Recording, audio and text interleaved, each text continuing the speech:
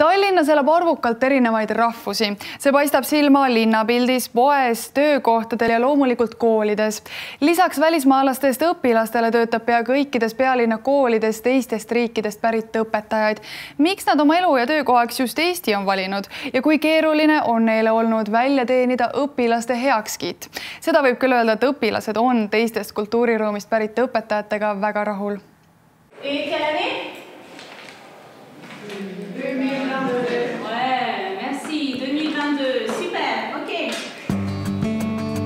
prantslanna Geraldine Julie on Tallinnas elanud üle kümne aasta. elu tõi ta siia läbi tutvumise eestlasest abikaasaga.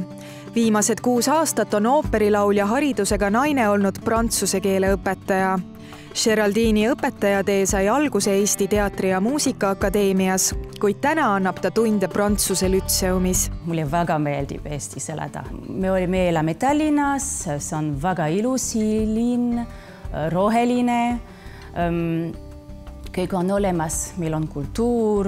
täna ma ei taha minna tagasi Prantsusmaalt, jah, mina olen nagu eestlane juba Korsikalt pärit Geraldine imetleb siinset haridussüsteemi ning ka oma õpilaste jaoks jagub naisel vaid kiidusõnu. Nad on väga toredad õpilased, nad on viisakad, nad õpivad hästi, nad kuulavad sõna. see on muidugi suur rõõm äh, õpetaja olla, ma arvan, jah. Enam Prantsusmaal see ei ole nii, nad on suur distsipliini probleemid ja jah, siin meil on väga hea olla Tallinnas elatud aja jooksul on särtsakas naine kohalikelt õppinud multifunktsionaalsust ja iseseisvust. see on midagi, et Eestis te teate teha. jah, te olete väga tugev ja ma loodan, et mina olen tugevam kui ette, et mina tulin. Barcelonast pärit Ana juhtus Eestisse aga vahetusüliõpilasena täna Tallinna kahekümne esimeses koolis hispaania keele õpetajana töötav naine on siin elanud üle viie aasta. When I came to Tallinn first I had thought uh, maybe like for a year to try but that was five years ago. So there is definitely something here that uh, is uh, magnetic or makes you wanna stay.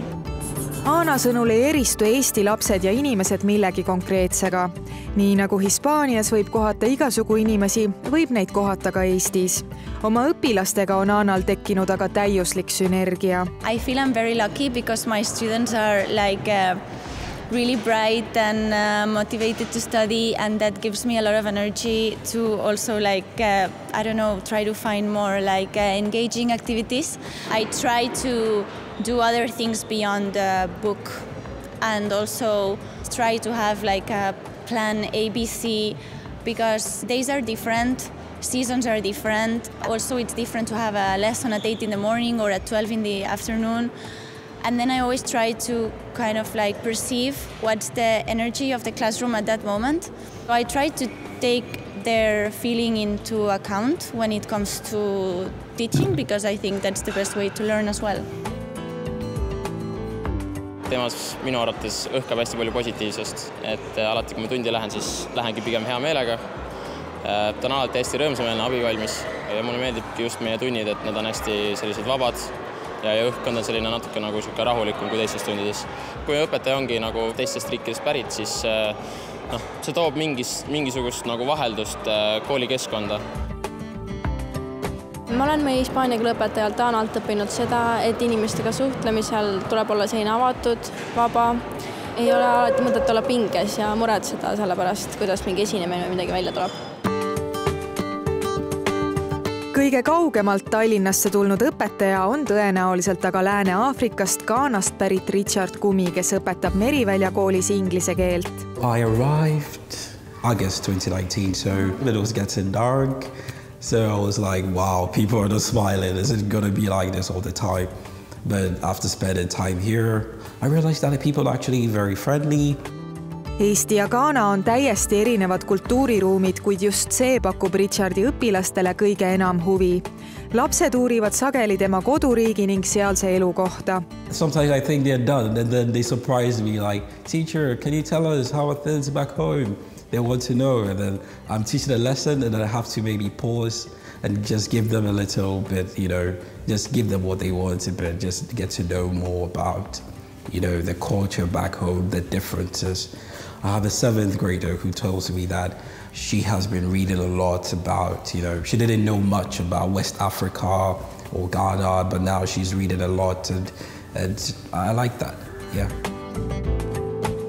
Makedooniast pärit Feisal sattus Eestisse vabatahtlikuna ning kuna Tallinn teda niivõrd võlus, otsustas mees siia jäädagi. tänaseks on Feisal südalinna koolis kolm aastat inglise keele õpetajana töötanud ning juba teist aastat on ta ka klassijuhataja. My students are very diligent. I really like them. I think they also like me as a teacher. I would say eighty five percent of my students are pretty open with me.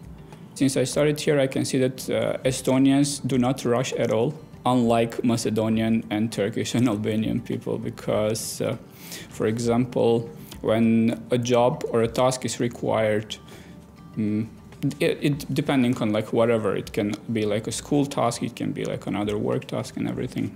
Macedonian, Turkish, and Alban Albanians, they would like to, for example, finish their job as quick as possible without looking at their consequences, but Estonians are very precise.